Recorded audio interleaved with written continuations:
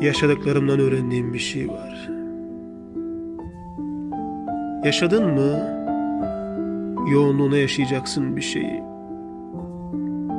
Sevgilin bitkin kalmalı öpülmekten. Sen bitkin düşmelisin koklamaktan bir çiçeği. İnsan saatlerce bakabilir gökyüzüne. Denize saatlerce bakabilir. Bir kuşa, bir çocuğa. Yaşamak yeryüzünde onunla karışmaktır. Kopmaz bağlar salmaktır oraya.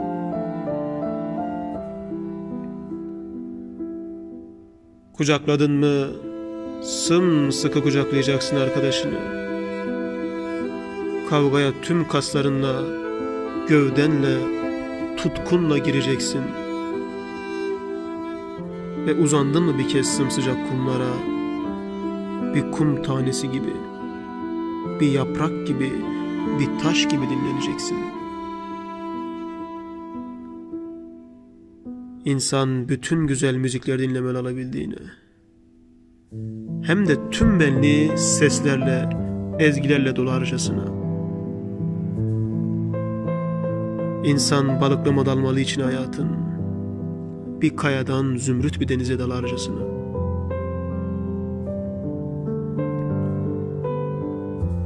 Uzak ülkeler çekmeli seni tanımadığın insanlar.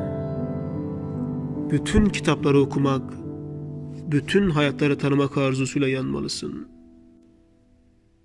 Değişmemelisin hiçbir şeyle bir bardak su içmenin mutluluğunu. Fakat ne kadar sevinç varsa yaşamak özlemiyle dolmalısın.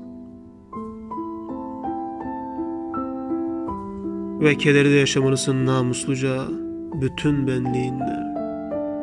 Çünkü acılar da sevinçler gibi olgunlaştırır insanı. Kanın karışmalı hayatın büyük dolaşımına, dolaşmalı damarların hayatın sonsuz taze kanı, yaşadıklarından öğrendiğim bir şey var.